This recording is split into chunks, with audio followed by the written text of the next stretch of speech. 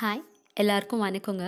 Welcome to Edumatics plus இப்போ நான் சொல்லிக் கொடுக்குறது வந்து ரொம்ப பேசிக்கான விஷயம் பட் தெரிஞ்சுக்க வேண்டிய ஒரு விஷயம்.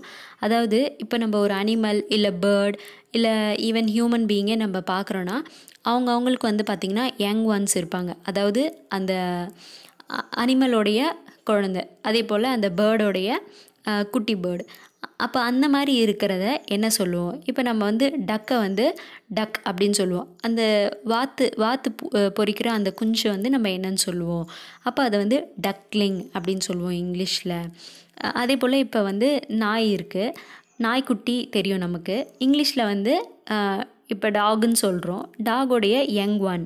அதை என்னன்னு சொல்லுவோம். இப்போ நாய்க்குட்டியை நம்ம பப்பி அப்படின்னு சொல்லுவோம். அதே போல் பூனை இருக்குது பூனைக்குட்டியை என்ன சொல்லுவோம்? வந்து கிட்டன் அப்படின்னு சொல்லுவோம். அப்போ கேட்டு கிட்டன் அதே போல் லைன் இருக்குது லைனுடைய யங் ஒன் சிங்கக்குட்டியை. அதை வந்து என்ன சொல்லுவோம்? சிங்கக்குருளை அப்படின்னு சொல்லிட்டு நம்ம தமிழில் சொல்லுவோம். பட் இங்கிலீஷில் சொல்கிறப்ப லைன் கப் அப்படின்னு சொல்லுவோம் அந்த மாதிரி ஒவ்வொரு அனிமலோடைய யங் ஒன்ஸ்க்கும் ஒவ்வொரு நேம்ஸ் இருக்குது அந்த நேம்ஸ் எல்லாம் நீங்கள் கலெக்ட் பண்ணுங்கள் கலெக்ட் பண்ணி அப்போ இந்த சிங்கக்குட்டியாக இப்படி தான் சொல்லுவோம் புலிக்குட்டியாக இப்படி தான் சொல்லுவோம் பூனைக்குட்டியாக இப்படி சொல்லுவோம் நாய்க்குட்டியாக இப்படி சொல்லுவோம் கன்றுக்குட்டியாக இப்படி சொல்லுவோம் அப்படின்னு சொல்லிட்டு அதெல்லாம் நீங்கள் அவங்களுக்கு சொல்லித் தரணும். பேர்ட்ஸுக்கும் சரி அனிமல்ஸுக்கும் சரி.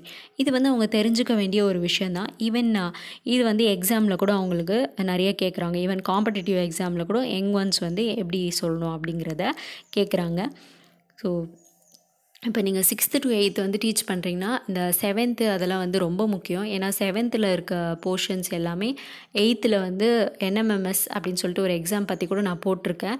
அதெல்லாம் வந்து உங்களுக்கு கேட்பாங்க. மென்டல் எபிலிட்டி டெஸ்ட் மேட்லேயோ இல்லை சேட்லேயோ வந்து வரும். ஸோ அதனால் அவங்களும் காம்படிட்டிவ் எக்ஸாம் எழுதக்கூடிய ஏஜில் தான் இருக்காங்க. அதனால் அவங்களுக்கு இந்த யங் ஒன் சொல்லி கொடுக்குறது அப்படிங்கிறது ரொம்ப முக்கியம். தமிழில் அவங்களுக்கு எப்படி மரபு மரபு ரீதியாக சொல்லி தரணும் அப்படின்னு சொல்லிட்டு தமிழில் சப்ஜெக்டில் வரும். அதே போல் தான் இங்கிலீஷ்லேயும். ஸோ ஒவ்வொரு அனிமல் அந்த அனிமலோடைய யங் ஒன் என்னன்னு சொல்லிட்டு ரெப்ரசன்ட் பண்ணுவோம் அப்படிங்கிறத அவங்களுக்கு கொஞ்சம் தெளிவாக சொல்லி கொடுங்க. இப்போ பிக்சர்ஸை காமிச்சு இப்போ இப்போ இது வந்து இந்த ஜீப்ராவோட குட்டி. அப்போ இந்த ஜீப்ரா குட்டியை என்னன்னு சொல்லுவோம் அப்படின்னு சொல்லிட்டு நெட்டில் நீங்கள் கலெக்ட் பண்ணாலே போதும் உங்களுக்கு எல்லா டீட்டெயில்ஸுமே கிளியராக கிடைக்கும்.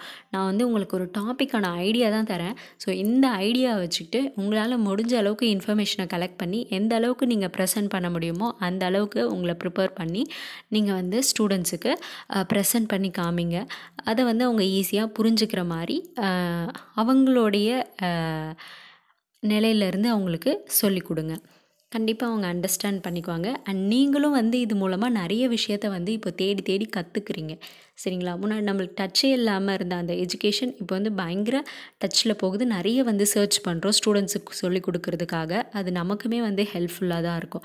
ஏன்னா நாளைக்கு நீங்கள் வந்து நிறைய எக்ஸாமுக்கு ப்ரிப்பேர் பண்ணக்கூடிய ஒருத்தவங்களாக இருக்கலாம். ஸோ அது உங்களுக்கும் யூஸ் ஆகும். அண்ட் உங்களுடைய ஸ்டூடெண்ட்ஸுக்கும் வந்து ரொம்ப ரொம்ப ஹெல்ப்ஃபுல்லாக இருக்கும். ஸோ இந்த விஷயத்தையும் வந்து நீங்கள் அவங்களுக்கு சொல்லி கொடுக்கலாம். இப்போ இங்கே மேட்ச் கொடுத்துருக்காங்க. இப்போ ஃபாக்ஸ்ன்னு கொடுத்துருக்காங்க. ஃபாக்ஸோடைய பேபியை நம்ம என்னன்னு சொல்லுவோம் அப்படின்னு கேட்குறாங்க இப்போ ஃபாக்ஸுக்கு வந்து என்ன சொல்லுவோம் நம்ம?